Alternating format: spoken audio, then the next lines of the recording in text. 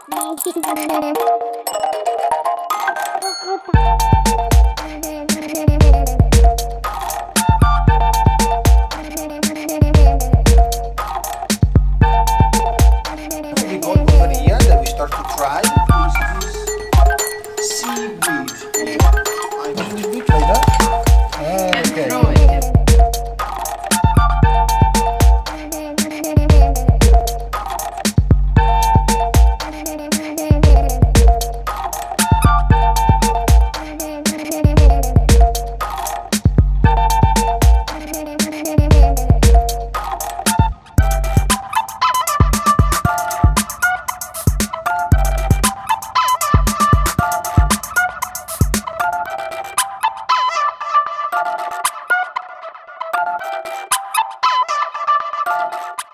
tere, mina olen Kaili ja käisin täna Vista programmi lastele rääkimas brändingust.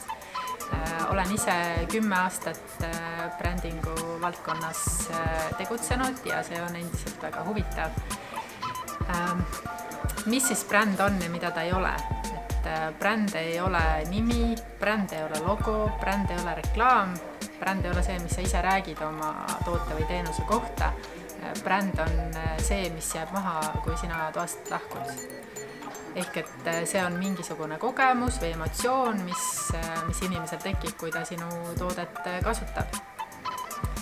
ja meeldejääva brändi loomiseks üks võimalus, mida ma täna tutvustasin Vista lastele, on brändi karakteri teemant, mille on loonud siis mees nimega David Freeman ehk siis äh, sa kujutad ette, et sinu bränd on kas inimene, loom või elusolend ja mõtled, milline ta siis oleks ja millised oleks need kolm-neli-viis omadust mis iseloomustavad teda kõige paremini.